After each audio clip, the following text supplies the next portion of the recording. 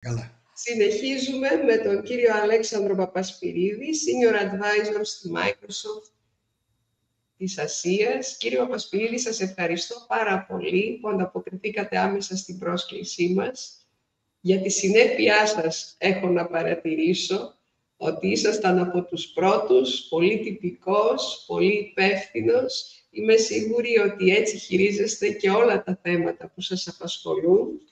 Ο κύριος Παπασπυρίδης, με 20 και χρόνια εμπειρία στην εφαρμογή κορυφαίων τεχνολογιών, όπως το cloud και η AI σε διάφορους τομείς, από το 2017 ηγήθηκε του τομέα εκπαίδευσης της Microsoft στην Ασία, έχει γράψει και παρουσιάσει εκτενώς για την τεχνητή νοημοσύνη στην εκπαίδευση, είναι κάτοχος διδακτορικού διπλώματος στην ηλεκτρονική μηχανική από το Imperial College και μέλος πολλών συμβουλευτικών επιτροπών σε όλο τον κόσμο.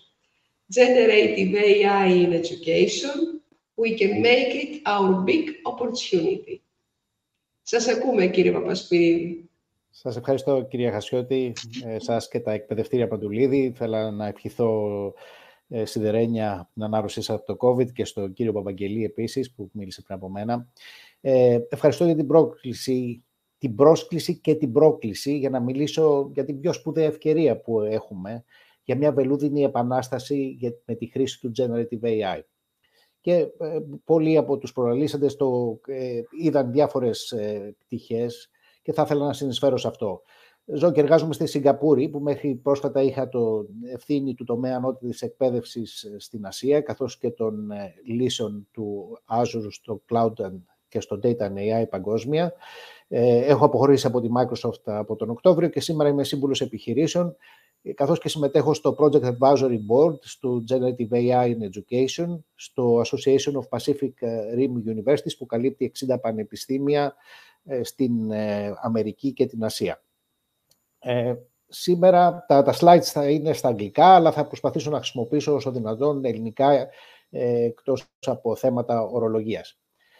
Ε, ξεκινώντας λοιπόν, θα ήθελα να πω ότι το AI δεν είναι κάτι καινούριο το, στη ζωή μας και όπως όλοι οι περισσότεροι από εμάς χρησιμοποιούμε κοινωνικά δίκτυα, όπως αυτά που φαίνεται, ή, ή ε, ε, sites για ηλεκτρονικό εμπόριο, ε, υπάρχει τεχνητή νοημοσύνη όταν υπάρχει μια πρόταση είτε να δείτε νέο περιεχόμενο, είτε να συνδεθείτε με κάποιον ε, άνθρωπο, είτε να αγοράσετε κάτι καινούριο. Όλα αυτά βασίζονται στο AI. Επομένως, δεν πρέπει να μας τρομάζει η χρήση της λέξης «έρχεται η τεχνητή νοημοσύνη», γιατί αυτό ήδη υπάρχει στη, στη ζωή μας.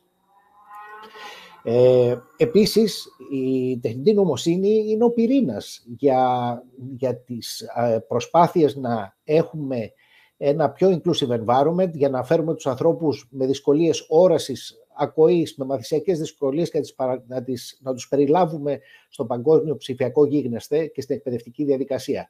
Τεχνολογίες λοιπόν που χρησιμοποιεί η Microsoft για το accessibility είναι όλες βασισμένες στην ε, τεχνητή νοημοσύνη. Όπως είπε ο κ. Μερτσιμάση, το πώς χρησιμοποιούμε το αποτέλεσμα των τεχνολογιών, αν είναι θετικό ή αρνητικό, εξαρτάται από εμάς. Δεν είναι κάτι που υπάρχει αρνητικό σε μια τεχνολογία, είναι ο τρόπος που τη χρησιμοποιούμε. Στο accessibility λοιπόν είναι ένας, ένας τέτοιος παράγοντας το οποίος ε, θετικός στην, στη χρήση του, των τεχνολογιών.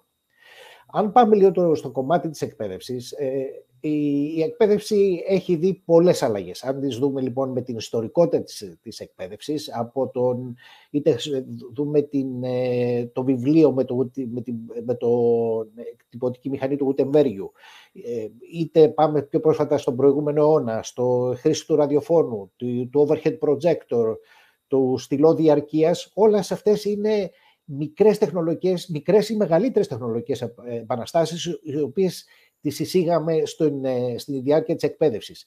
Και αυτό θα πρέπει να δούμε και να μην μας τρομάζεις πάλι. Είναι άλλη μια τεχνολογία η οποία μπαίνει στη ζωή μας και επίσης πολλές άλλες θα συνεχίσουν να έρθουν. Ούτε αρχίζει, ούτε είναι η πρώτη φορά, ούτε φυσικά η τελευταία στην οποία ε, μπαίνει η τεχνολογία. Αν δούμε λοιπόν πώς αντιμετωπίστηκε η εισαγωγή του Generative AI στην, ε, στην εκπαίδευση, θα δούμε ότι στα, στο κομμάτι της, του, του K through 12, μέχρι, δηλαδή στα, στα σχολεία, υπήρχε μια αρνητικότητα στην αρχή. ε, είτε γιατί θα μπορούσε να, να χρησιμοποιηθεί το ChatGPT για να γράψει κάποιο assignment ή κάτι τέτοιο. Υπήρχε μια, μια αρνητική προσέγγιση με απαγορεύσεις και αυτά σε πολλές, ε, ε, σε πολλές χώρες ή σε πολλά ε, regional boards. Δεν ήταν όμως αυτό καθολικό, γιατί ε, η Σιγκαπούρη, στην οποία ζω, είχε, ήταν ανοιχτή στη χρήση της τεχνολογίας αυτή. Μάλιστα, οι δάσκαλοι συμμετείχαν μαζί με την ε, με το AI Singapore, με, την, ε, ε, με το agency που ασχολείται με, το Artificial Intelligence στη, στη Σιγκαπούρη, στο να φέρουν καινούργιες τρόπους εφαρμογής. Αυτό ήταν η αρχική αντιμετώπιση. Τώρα, στο, στην ανώτατη εκπαίδευση ήταν πιο θετική, θα έλεγα, και θα δούμε ότι παρότι είχαμε πολύ εντυπωσιακά αποτελέσματα, όπως παραδείγματος χάρη ότι θα μπορούσε να περάσει με επιτυχία ε, τις εξετάσεις είτε σε legal boards, είτε στην ιατρική, είτε ακόμα και σε MBA. Γενικά αυτό που είδαμε ήταν μια, μια πιο θετική αντιμετώπιση. Τώρα, στην Ελλάδα είχαμε κάποια αντίστοιχα ε, αντιμετώπιση και από τα ανώτατα εκπαιδευτικά ιδρύματα μάλλον κάποιο ε, θετική και επίσης μια επισήμανση ότι δεν είναι η πρώτη φορά που βλέπουμε την τεχνητή νοημοσύνη στη ζωή μας. Τώρα, όπως ξέρετε, ότι πρόσφατα γιορτάσαμε, είχαμε τα πρώτα γενέθλια του, του ChatGPT, ε, έχουμε κλείσει ένα χρόνο. Πώς είναι ε, λοιπόν τα δημοσιεύματα τα οποία βλέπουμε; Θα δούμε ότι έχουμε περάσει, ότι έχει μια αλλαγή στον τρόπο τον οποίο αντιμετωπίζεται η εισαγωγή της, ε, του Generative AI και από, από, θα έλεγα από τη φάση της άρνησης στη φάση της αποδοχής. Αλλά αυτό νομίζω ότι είναι πάρα πολύ σημαντικό ότι αυτή η αποδοχή να μην είναι παθητική, ότι είναι αναπόφευκτο πλέον ότι αυτό υπάρχει, ε, αλλά να είναι ενεργητική και να σκεφτούμε με ποια, ποια ευκαιρία δημιουργεί στο χώρο της εκπαίδευσης. Αυτό είναι ένα πολύ κομβικό σημείο, το οποίο θα ήθελα να επισημάνω ότι δεν πρέπει να είμαστε απλώς οι, οι αποδέκτες, αλλά να δημιουργήσουμε το μέλλον και αυτό θα, θα καθορίσει αν η αλλαγή αυτή είναι θετική ή όχι. Ένας άλλος παράγοντας, ο οποίο θα ήθελα να εστιάσω, είναι το πώς το βλέπουν οι μαθητές, πώς το χρησιμοποιούν.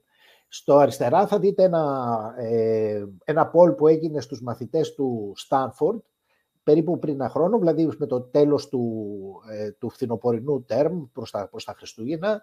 Και αυτό το που είδαμε ότι δεν ήταν ο βασικός τρόπος ε, για να βοηθήσει τους μαθητές να, ε, να, να κλέψουν, να, να, να δημιουργήσουν ε, τα assessments με, τον, ε, με τη χρήση του, του ChatGPT. Ίσα ίσα φάνηκε ότι άρχισαν να το αξιοποιούν θετικά στο να βοηθήσουν να σκεφτούν ιδέες, στο να, να τις ε, συνθέσουν, να τις αναλύσουν και λιγότερο από το, το θέμα του, του, του, του assessment. Αν πάμε σε κάποια ε, ε, πιο πρόσφατα δημοσιεύματα που φαίνονται στα δεξιά για το, το Πανεπιστήμιο του Εδιμβούργου, θα δούμε ότι οι μαθητές ζητάνε πλέον από το εμάς, από την εκπαιδευτική κοινότητα, από τους ακαδημαϊκούς, από τους δασκάλους, να τους εξηγήσουν με ποιο τρόπο θα χρησιμοποιήσουν σωστά αυτά τα εργαλεία. Αυτό λοιπόν θέλω να επισημάνω δύο πράγματα. Πρώτον, είναι ένα εργαλείο και επομένως οφείλουμε να δώσουμε στους μαθητές και στους φοιτητές με ποιο τρόπο μπορούν να το χρησιμοποιήσουν επικοδομητικά για τους ίδιους. Και το δεύτερο είναι ότι οι μαθητές είναι πιο μπροστά από τους εκπαιδευτικούς στη χρήση αυτών των εργαλείων. Τι σημαίνει αυτό; Σημαίνει ότι πρέπει να βάλουμε τους μαθητές, τους φοιτητές μέσα στη διαδικασία που δημιουργούμε αυτές τη, τη χρήση του Generative AI. Δεν θα πρέπει να είναι παθητικοί αποδέκτες των αλλαγών αυτών, αλλά θα πρέπει να συμμετάσχουν στη δημιουργία τους, γιατί αυτοί είναι πολύ πιο δημιουργικοί σε αυτό αυτή τη στιγμή. Αν δούμε λοιπόν ε, πού μπορεί να χρησιμοποιηθεί το, το, το, το Generative AI, θα ήθελα να σας δείξω αυτό το παράδειγμα σε αυτό το slide. Αυτό το, το, σε αυτό το slide ε, ε, έχει μια διπλή χρήση. Πρώτον, αυτό το οποίο έκανα είναι μάζεψα μέσα από τα δημοσιεύματα διαφορετικά σενάρια, πώς, διαφορετικά use cases, πώς χρησιμοποιείται το Generative AI. Στο δεύτερο, ζήτησα από το ChatGPT, αφού του έβαλα όλα αυτά τα κομμάτια κειμένου που υπήρχαν, χωρίς σύνταξη, ήταν κομμάτια το οποίο ήταν copy and paste, να μου τα φτιάξει σαν μια λίστα. Βλέπουμε λοιπόν ότι η χρήση του, του Generative AI είναι πολύ καλή για το θέμα του summarization. Δηλαδή μπορείς να πάρεις κομμάτια και να στα δημιουργήσεις, θα βοηθήσεις να στα φτιάξεις σε ένα κείμενο το οποίο ρέει. Ταυτόχρονα όμως να δείτε ότι υπάρχουν πάρα πολλές δυνατότητες για το πώς θα χρησιμοποιηθεί το, το Generative AI στην εκπαιδευτική διαδικασία. Και αυτό είναι ένα πολύ μικρό δείγμα. Θα σας πω λίγο αργότερα και τι άλλο κάνουμε για να τα δούμε τους διαφορετικά, διαφορετικούς τρόπους που χρησιμοποιείται. Λοιπόν, να δούμε όμως κάτι τώρα το οποίο είναι το πιο σημαντικό και αυτό το οποίο είναι ο κεντρικός πυρήνας της ομιλίας μου. Ποια είναι η ευκαιρία που έχουμε ε, μπροστά μας. Εάν δούμε λοιπόν ότι το εκπαιδευτικό μας σύστημα, το οποίο βασίζεται στην έννοια της σταθερού χρόνου, το οποίο λέμε είτε λέγεται ακαδημαϊκό έτος, είτε λέγεται τρίμηνο, και του σταθερού βηματισμού, που είναι για όλους, για όλη την τάξη, και της αξιολόγησης για να δούμε πού βρίσκονται, αυτό το οποίο ε, βλέπουμε ότι είναι και τι συμβαίνει τώρα στην πράξη. Ξέρετε πόσες φορές όλοι οι εκπαιδευτικοί έχουμε χρησιμοποιήσει τη, τη, τη φράση «δεν υπάρχουν χαζές ερωτήσεις». Και γιατί το λέμε, γιατί προφανώς αυτό είναι στο μυαλό που, των, όλων των μαθητών και το οποίο δεν, δεν, δεν κάνουν ερωτήσεις.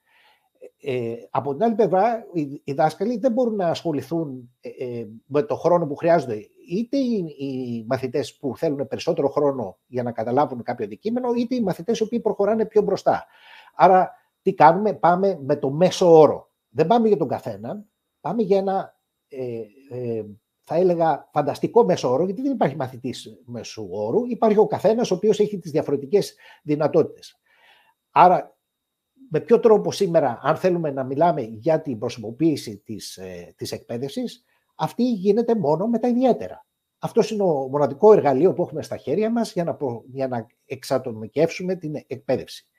Αυτό λοιπόν το οποίο έρχεται με το πρόμιστο του Generative AI είναι όχι να αντικαταστήσει τους, τους, ε, τους δασκάλους. Αυτό θέλω να είμαι ξεκάθαρος. Αυτό ε, και το ανέφερε πλήν και ο κύριος Παπαγγελής, αλλά θέλω να είμαι κατηγορηματικός ότι δεν υπάρχει αυτή η, η, η περίπτωση. Αυτό που, χρειά, που και αυτό θα το δείτε ότι πολλές εταιρείες όπως η Microsoft δεν μιλάει για αλλαγή, μιλάει για copilots, δηλαδή για εργαλεία στα οποία βοηθούν τον άνθρωπο να κάνει καλύτερα την, την δουλειά του. Και γιατί, όπως είπε και ο κύριος ε, Παπαγγελής, είπε νωρίτερα, είπε ότι χρειάζονται και η συναισθηματική νοημοσύνη, τα soft skills, τα οποία αυτή τη στιγμή δεν, δεν, υπάρχουν, μόνο, ε, δεν υπάρχουν μέσα στην, στην τεχνολογία αυτή. Άρα ο δάσκαλος χρειάζεται. Προσπαθήσαμε με τα MOOCs να βοηθήσουμε να υπάρξει κάποια εξατομίκευση της εκπαίδευσης, όμως ε, αυτή τη στιγμή δεν το έχουμε καταφέρει. Το promise λοιπόν που, που φέρνει πλέον το Generative AI είναι να πάμε στο Mastery Learning. Δηλαδή δεν είναι να εξετάσουμε το μαθητή και στο τέλος του χρόνου και να του πούμε πέρασες, πήρες άριστα, πήγες μέτρια ή ξανακάνε την τάξη. Είναι να βοηθήσουμε το μαθητή με το δικό του βηματισμό, με διαφορετικούς πολλαπλούς τρόπους εκπαίδευσης και με συνεχείς αξιολογήσεις οι οποίες βοηθάνε πρώτα απ' όλα τον μαθητή και τον εκπαιδευτικό να καταλάβει ποιο είναι το θέμα, να τον βοηθήσουμε να πετύχει. Όλοι πρέπει να πετύχουν. Όλοι οι μαθητές πρέπει και μπορούν να πετύχουν με τη, με τη χρήση του, του Generative AI. Αυτή λοιπόν είναι η κεντρική ευκαιρία και αυτή είναι την οποία πρέπει να σημαδεύσουμε με τις κατάλληλες αλλαγές. Τώρα, θα μου πείτε ωραία όλα αυτά. Εγώ είμαι ένας ε, ε, καθηγητής τι πρέπει να κάνω για να ποια είναι τα επόμενα βήματα. Καλά όλο αυτό το, το που μας καθοδηγεί, ποιος είναι ο, ο πολικός αστέρας που μας καθοδηγεί και θα πρέπει να κάνουμε, αλλά τι σημαίνουν αυτά για μένα πρακτικά, τι μπορώ να κάνω. Πρώτον, είναι όλοι που συμμετέχουμε σε αυτήν την εκπαιδευτική διαδικασία, είτε είναι ε, καθηγητές, δάσκαλοι, μαθητές, όλοι ε, ή ακόμα και administrators πρέπει να καταλάβουν τι, τι είναι αυτό; Άρα όλοι πρέπει να ε, επιμορφωθούμε στο θέμα αυτό της, της, των τεχνολογιών αυτών. Εδώ πέρα σας δίνω μερικά παραδείγματα για να ε, μπορέσετε να ξεκινήσετε στα θέματα αυτές της τεχνολογίας, ξεκινώντας από, την, από ένα competence framework που έχει φτιάξει η, η UNESCO, το οποίο λέει πώς μπορούμε να προσεγγίσουμε αυτό το θέμα. Αυτός είναι χώρος εν εξελίξη. Είναι, ε, ε, υπάρχουν όμως εδώ αρκετή, αρκετό υλικό για να μπορέσουμε όλοι μας να ξεκινήσουμε στο να μάθουμε. Αφού λοιπόν καταλάβουμε λίγο παρα, πάνω τι είναι, τι είναι το επόμενο βήμα. Το δεύτερο και πιο σημαντικό βήμα είναι όλοι να πειραματιστούμε. Ε, όλοι πρέπει να μάθουμε τι, τι μπορεί να γίνει, να δοκιμάσουμε διαφορετικά πράγματα. Δεν υπάρχει μία και μόνο προσέγγιση σε αυτό, θα υπάρξουν πάρα πολλές προσεγγίσεις. Και σε αυτό το ε, τομέα ε, έχει κάνει και OpenAI, έχει δημιουργήσει κάποιους, κάποια guides για το πώς μπορεί να χρησιμοποιηθεί η, το Generative AI στην εκπαιδευτική διαδικασία και έχει και η Microsoft ένα πάρα πολύ ε, ε, ε, ωραίο υλικό το οποίο έχει φτιάξει στο, στο GitHub με prompts ε, με τη συνεισφορά του Ethan και της Lila Molik, το οποίο όλοι μπορούν να χρησιμοποιήσουν. Επομένως, αν κάποιος μπορεί να δει ε, να πάρει, να πάρει ένα από, από αυτά τα prompts και να τα βάλει μέσα στο chat GPT και να δημιουργήσει τα κατάλληλα personas για την εκπαιδευτική διαδικασία. Για παράδειγμα, μπορείς να πεις ε, ότι θέλω να έχω μια σοκρατική προσέγγιση στο διάλογο με τον μαθητή. Υπάρχουν πάρα πολλά παραδείγματα. Αυτά λοιπόν είναι ε, βασικά σημεία στα οποία κανείς μπορεί να αρχίσει να πειραματίζεται.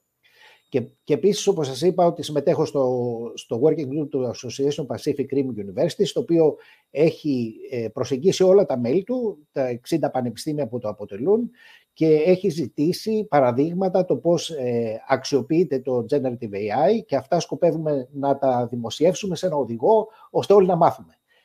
Άρα πρέπει skills, όλοι να έχουμε, να καταλαβαίνουμε τι είναι το Generative AI, τι είναι το ChatGPT και τι είναι το GPT-4 και όλες αυτές τις τεχνολογίες οι οποίες υπάρχουν και πώς μπορούν να εφαρμοστούν στην εκπαιδευτική δραστηριότητα.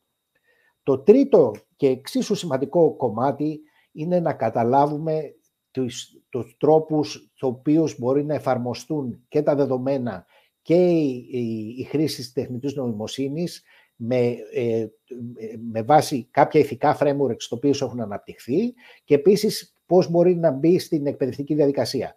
Θα ήθελα να, να τονίσω ότι η, η, Microsoft έχει κάνει μια εξαιρετική δουλειά στο κομμάτι του Responsible AI, το, ε, το, έχουμε, το είχε θέσει ο Σάτι Αναντέλα από το 2016 στο βιβλίο του και έχει προχωρήσει στο να υπάρχουν ε, ένα συστηματικό framework το οποίο μπορεί να προσεγγιστούν οι λύσεις τεχνητής νοημοσύνης. Και επίσης το θέμα το εκπαιδευτικό, ε, πρόσφατα η Αυστραλιανή κυβέρνηση ε, δημοσίευσε ένα ε, οδηγό, ένα framework, το οποίο πώς μπορεί να χρησιμοποιηθεί η τεχνητή νοημοσύνη στην, ε, στην εκπαίδευση. Με αυτά θα ήθελα να, να κλείσω, να σας ευχαριστήσω για την τιμητική αυτή πρόσκληση και να, να, να τονίσω ότι πρέπει να δούμε αυτό σαν μια ευκαιρία. Και φυσικά αυτή η ευκαιρία θα γίνει αν όλοι μας είμαστε, έχουμε ενεργό ρόλο. Ευχαριστώ. Ευχαριστούμε πολύ κύριε Παπασπυρίδη. Κρατάω το ότι οι μαθητές και οι μαθήτριες πρέπει να αναλάβουν έναν πρωταγωνιστικό ρόλο, να γίνουν μέρος όλης αυτής της μαθησιακής διαδικασίας, να συμμετάσχουν ενεργά και γιατί όχι, να μας μάθουν κιόλας. Γιατί δάσκαλος δεν σημαίνει μόνο να διδάσκει κάποιος, σημαίνει και να διδάσκεται. Και τα παιδιά έχουν να μας πούν πάρα πολλά σήμερα. Σας ευχαριστώ.